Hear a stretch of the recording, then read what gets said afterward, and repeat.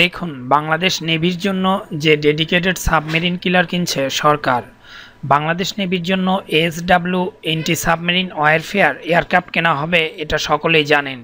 এ পদে সবচেয়ে বড় দুই প্রতিদ্বন্দ্বী হলো second hand P three C এবং brand new CASA C two nine five SW Japan ও অস্ট্রেলিয়া অলরেডি তাদের পি আমাদেরকে অফার করেছে। সেকেন্ড হ্যান্ড হলেও আমি ব্যক্তিগতভাবে পি থ্রি এর পক্ষে। এর ফলে প্রথম যে প্রশ্নটা সবাই করবেন, তা হলো ব্র্যান্ড নিউ রেখে সেকেন্ড হ্যান্ড মাল কেন? প্রথমে আসি এদের বৈশিষ্ট্যের কথায়। পৃথিবী ডেডিকেটেড সাবমেরিন কিলার হলেও সি টু নাইন ফাইভ কিন্তু তা নয়। এটাকে নর্মাল কার্গো ভার্সন থেকে মডিফাই করে এএসডাব্লিউ বানানো হয়েছে। দ্বিতীয়ত, বাংলাদেশের ডিফেন্স বাজেটের ক্ষেত্রে দামটা সবসময় একটা ম্যাটার। একটা ব্র্যান্ড নিউ নর্মাল কাসার ফ্রেমের দাম থার্টি সিক্স মিলিয়ন ডলার করে পড়ে। বাংলাদেশ আর্মিও থার্টি সিক্স মিলিয়ন ডলার খরচা করেই সেটা কিনেছে।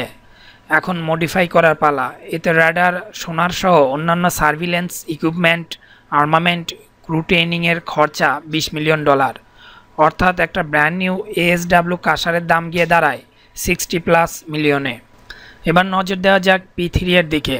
যেহেতু ডেডিকেটেড সাবমেইন কিলার তাই তেমন কিছু করার প্রয়োজন হয় না এখানে।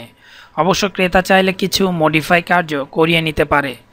Second hand P price Wiki অনুসারে টোয়েন্টি থ্রি মিলিয়ন হলেও এখন কিছুটা বেশি, অর্থাৎ টোয়েন্টি এইট মিলিয়ন সব মিলিয়ে হিসাব করলে, তার মানে এইটটি থেকে হান্ড্রেড মিলিয়ন ডলারে আমরা তিনটা পি থ্রি পাচ্ছি। কিন্তু আমাদের দেশের কিছু জনগণ এখনই চিল্লানো স্টার্ট করবে যে সরকার সেকেন্ড হ্যান্ড কিনে খালি জনগণের টাকা নষ্ট করছে। তাই আপাতত দামের দিক থেকে সরে এসে আর একটু গভীরে ঢুকে দেখা যাক। বাংলাদেশ এয়ারফোর্স টার্বোপ্রোপ ইঞ্জিন ব্যবহারে অভ্যস্ত এবং একই সাথে অভিজ্ঞ। পি এর ক্ষেত্রে আমরা লজিস্টিক্যালি সুবিধা পাচ্ছি। কারণ পি এর ইঞ্জিন এবং সিওন থ্রি জিরোর ইঞ্জিন একই ক্যাটাগরির এবং এদের ইন্টারনাল স্ট্রাকচারও প্রায় একই। ফলে মেনটেন্যান্সে আমাদের অনেক সুবিধা হবে। এরপর আসা যাক আর্মামেন্টের ব্যাপারে। পেলোডের দিক থেকে CASA nine two five zero KG এবং পৃথিবী nine two zero zero KG load নিতে পারে। অবশ্য পুরোটাই কিন্তু আর্মামেন্ট নয়। পৃথিবীতে Harpoon M K eighty four ইত্যাদি ব্যবহার করা যায়। এক্ষেত্রে আর্মামেন্ট আমরা বিক্রেতা দেশ থেকে পাবো এটা নিশ্চিত। আমেরিকা এই পুরাতন জিনিসের আর্মামেন্ট নিয়ে ঝামেলা করবে বলে মনে হয় না।